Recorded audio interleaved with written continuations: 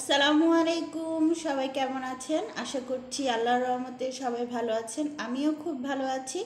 আজকে ঘরোয়াভাবে কীভাবে মজাদার কফি তৈরি করা যায় সেটাই সবার সাথে শেয়ার করব। অলরেডি অনেকে বুঝতে পেরেছেন আমার থাম্বেল দেখে। তো চলুন দেখে নিই আমি কীভাবে কফিটা ঘরে খুবই মজাদার করে তৈরি করলাম। তো আমি প্রথমেই একটি ফ্রাই প্যানে পরিমাণ মতো পানি বসিয়ে দিয়েছি। এখানে আমরা ছয় কাপ আর কি আমরা ছয় কাপের মতো কফি তৈরি করব। আর আমি এখান থেকে সামান্য গরম পানি পাউডার দুধ দিয়ে একটু গুলিয়ে নিলাম। আর এই দুধটা আমি পানির সাথে মিশিয়ে দিব। আর কফিতে দুধের পরিমাণটা যত বেশি হবে, সেই কফিটা খেতে কিন্তু খুবই মজা হয়। তো আমি এই হালকা গরম পানির সাথে গোলানো দুধটা আমি মিশিয়ে দিলাম। আজকে আমি কফিটা তৈরি করব। এই কফি দিয়ে নেসলে কফিটা তৈরি করব না। নেসলে, আপনারা চাইলে নেসলে কফি দিয়েও করতে পারেন। তো আমি এখানে পরিমাণ মতো কফি নিয়ে নিচ্ছি। তবে অবশ্যই খেয়াল রাখতে হবে, কফির পরিমাণটা যেন বেশি না হয়, তাহলে তেতাটা বেশি লাগবে। তো আমি কফি নিয়ে নিলাম। এখন আমি এখানে দিয়ে দিব পরিমাণ মতো চিনি। চিনিটাও যে যার পছন্দ মতো বাড়িয়ে কমিয়ে নিতে পারেন।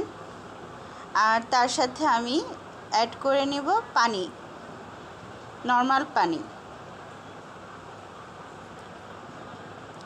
তো পানিটা দিয়ে আমি খুব ভালো করে বিট করে নিব। আপনাদের যদি বিটারটা না থাকে, তাহলে আপনারা ডাল ঘুটনি দিয়েও এই বিটটা করে নিতে পারেন, তাতে দেখা যাবে সময়টা বেশ লাগবে।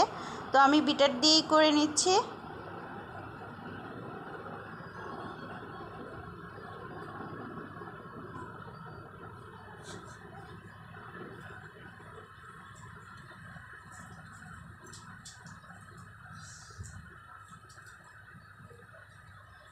বেশ কিছুক্ষণ বিটার দিয়ে করার মতো থিকনেসটা ঠিক এরকম আসবে আরও ঘন আসবে। তো আমি এটা যখন অল্প সময়ে করলাম তখন এটা এসেছে। আর একদম লাস্টে থিকনেসটা কিন্তু খুবই ঘন আসবে, একদম ক্রিমি একটা টেক্সচার আসবে। এই যে দেখতে পাচ্ছেন এরকম ঘন একটা টেক্সচার আসবে। এটা কমপক্ষে দশ থেকে পনেরো মিনিটের মতো বিট করতে হবে। তো আমি যে কাপটাতে পরিবেশন করব, সেখানে আমি পরিমাণ মতো কফির বিটটা করে নিয়েছি, সেটা দিয়ে নিলাম। আর সেই সাথে আমি অ্যাড করে নিব গরম ফুটন্ত দুধ, যে দুধটা আমি আগে থেকেই চুলায় ফুটিয়ে নিয়েছি।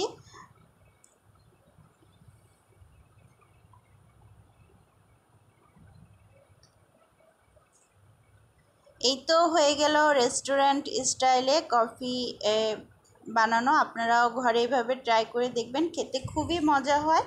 তো আজকের মতো আমার এটাই শেয়ার করার ছিল। আশা করছি পুরো ভিডিওটি সবার কাছে ভালো লাগবে। ভালো লাগলে প্লিজ একটি লাইক দিয়ে আমার ভিডিওটি দেখা শুরু করবেন। আর যারা নতুন দেখছেন, তারা প্লিজ আমার চ্যানেলটি সাবস্ক্রাইব করে আমার পাশে থাকবেন। আজকের মতো সবাই ভালো থাকবেন, সুস্থ থাকবেন। আল্লাহ হাফেজ!